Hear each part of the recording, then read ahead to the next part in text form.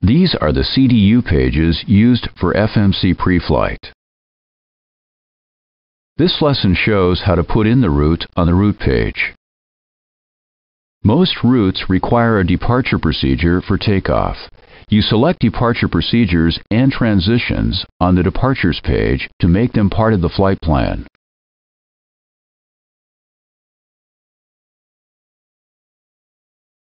Let's continue the pre-flight from the POS page. The POS page pre-flight is complete. Notice that Boeing Field has been put in. Show the route page. The message light illuminates because KBFI is in the scratch pad.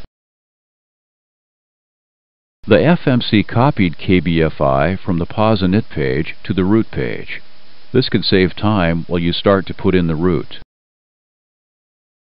You will manually put in this route from Boeing Field to Los Angeles. Start with the departure airport. Put the ICAO identifier, KBFI, in the origin line. Put in the ICAO identifier for Los Angeles, KLAX, as the destination. The company route is used to put in company-defined routes. This is discussed later. Put in the flight number.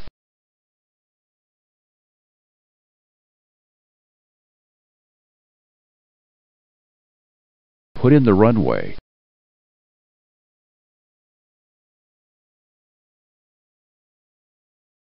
Each route segment is put in ATC format, almost the same as regular flight plan entries. The route segment or airway information is put in on the left and the endpoint of the route segment is put in on the right. Put in Seattle as the first endpoint under the To column. Direct is automatically put in the Via column if a route segment is not put in. Next, put the high altitude airway, J1, in the subsequent via line. There are many waypoints along J1, but only the end point of your route segment must be put in. To complete the segment, put Avenal in the box prompts under the To column. Page 1 is full. Select the next page to continue the FMC pre-flight. Continue to put in the route in the order shown.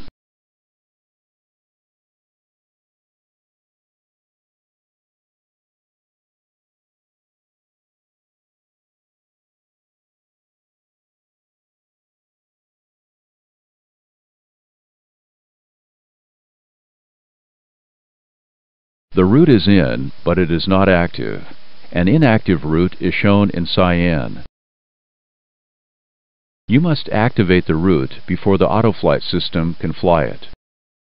There are two steps to make a route active. First, select the line select key adjacent to activate. The execute light illuminates.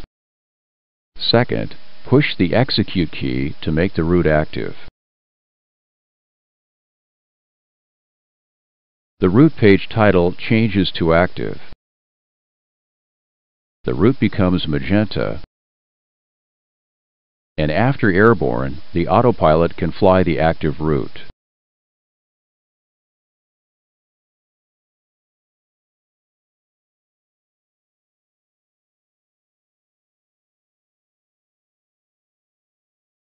You can also use the company route line to put in the flight plan. A company route is a predefined route that your company loads into the navigation database. The entire route is put in with the company route identifier. Put in the company route identifier.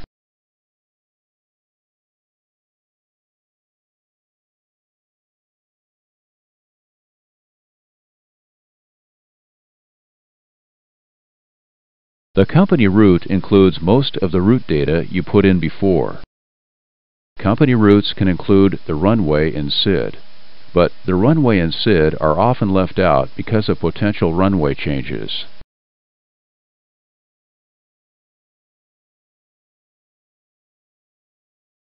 Your flight contains a departure procedure and a transition.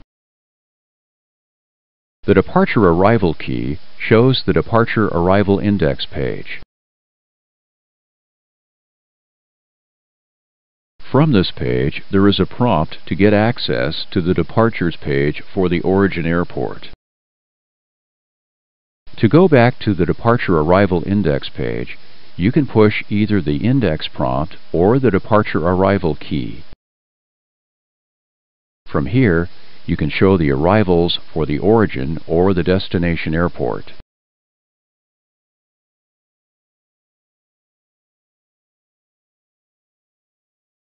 Show the Departure Arrival Index page. The arrival prompts are used to show the arrivals page for the origin or destination airports. The prompts are discussed in a different lesson. Departures or arrivals for other airports show after you put in the airport ICAO identifier in these lines. Show the KBFI departures page. You use the departures page to select the departure runway, departure procedure, and transition for the route origin airport. Active shows by the departure runway because you put a runway in the route page.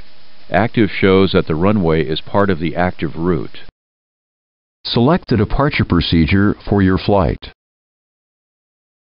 This shows that the departure procedure is selected. The execute light illuminates. This shows a route modification is in progress. Modifications show as white dashes. On route page 1, MOD shows in the page title. An erase prompt comes into view. The prompt erases all modifications and shows the original active route. Use the Erase prompt to erase the modifications. The route modifications are erased, the original active route shows, and the execute light extinguishes. Select the departure procedure again. These are transitions available for the selected departure procedure. You can select Hump, Orton, or VAMPS. Select the correct transition for your route.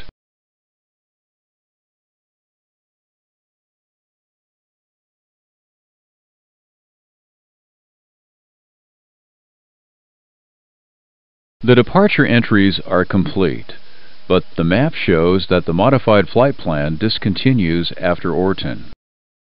Go back to the route page to connect the discontinuity.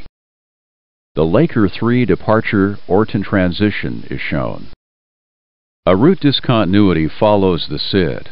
A discontinuity occurs when two route segments are not connected. Show route page 2. As you can see, the rest of the route is the same as before. Show route page 1 to see how to connect the discontinuity. ATC clears you from the departure transition at Orton direct to Alder. Alder is on J1. You must connect Orton to Alder to make the route the same as the clearance. Put Alder in the boxes to connect the discontinuity. Enter the data as shown and select the correct key.